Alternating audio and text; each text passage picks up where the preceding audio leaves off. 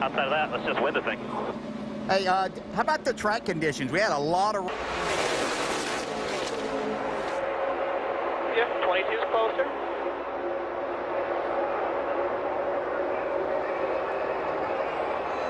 Joey Logano getting a run on Regan Smith. Here comes Kasey Kahne in the five.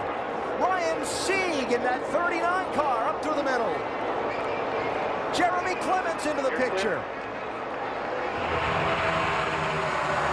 All going on behind Regan Smith. Can he hang on? Will the fuel last to the finish line? Here they come to the checkers.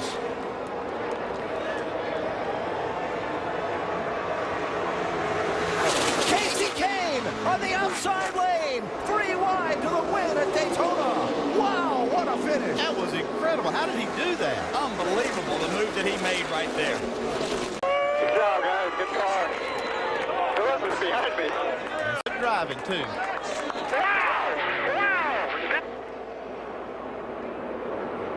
He restarted seventh for the green-white checker by 20 thousandths of a second. I believe that's Ryan Sieg that's pushing him across the line there. What a great job he did. He Yep. ran great here and back in February. I believe finished ninth. Yep. I don't even think Kasey Kahne knew who it was that was pushing him. But, but Zig did such a good job. I mean, that was just incredible how they did that.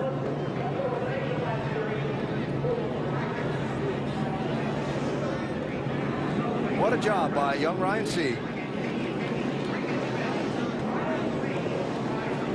Finished second at Daytona in his second try here in the NASCAR Nationwide Series. The 27-year-old from Tucker, Georgia. He's going to have a chance for the Dash for Cash, $100,000 next week.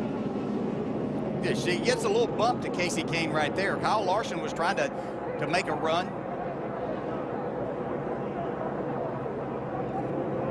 I thought he lost too much momentum right there. Yes.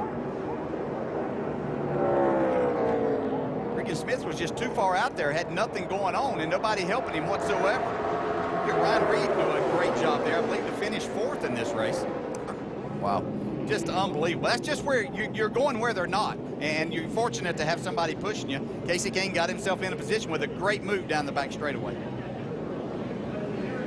Well, if you're going to drive a race, with our Hellmann Chevrolet, but at the end, had a huge push from 39 uh, Sieg and just felt really good. The car had speed on that. I was more the line, I was unsure, and then the last push, the last time uh, Ryan hit me, you know, it really boosted me past the seven, so I, I felt good about it at that point. But Now, top four finishing championship eligible drivers in this race tonight that get the race for that $100,000 bonus next week at New Hampshire. Look at that group. How cool is that? Yeah, Jeremy Clements gets a chance to run for 100000 uh, That's incredible. Yeah, they did a fantastic job.